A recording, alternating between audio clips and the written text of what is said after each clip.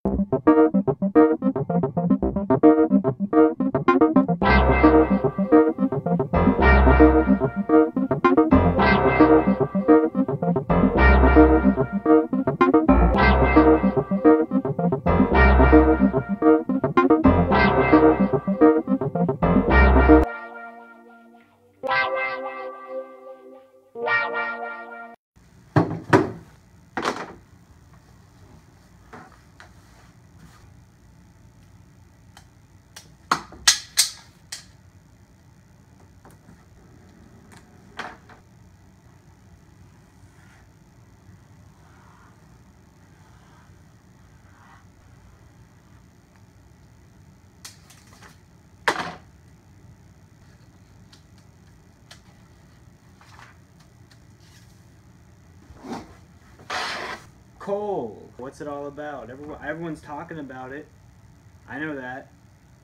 But what is it? I bet you're wondering the same thing, and today you're going to learn on Environmental Science with Branson.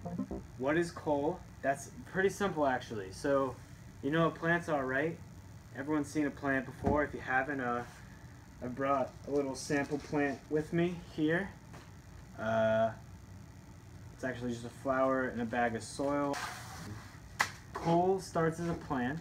The, the plants grow, the plants will die, and then the plant will uh, decompose and become this material called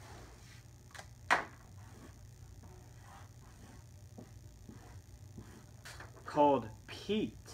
And you're wondering, what's peat? Peat stands for plants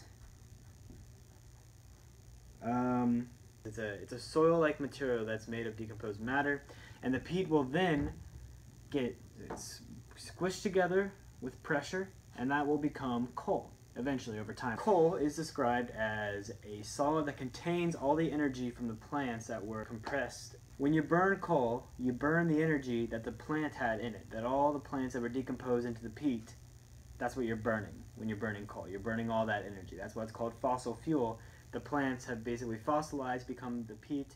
The peat turns into coal. The coal burns the fuel. That's what that's what fossil fuel is.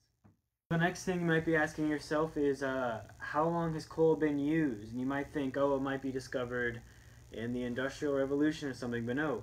Actually, the cavemen used it. The Romans used it. In the 1300s, the Hopi Indians, who lived uh, right here in America, they used the coal for cooking. In the 1700s, actually, the British started using coal as a replacement for charcoal because the charcoal is burnt wood, and the burnt wood um, was was not as clean and did not burn as hot or for as long as the coal did. So coal is actually a very good substitute for that. In the 1880s is when coal actually began to be used for electricity, as it is now. Obviously, you're asking yourself, where is it used? Where is it used? So, simple answer, coal is used everywhere, whether you know it or not.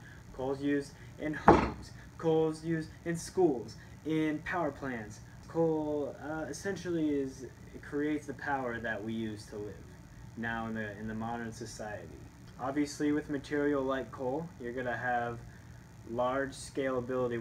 So I hope you learned a lot about coal. About coal. This has been Environmental Science with Branson.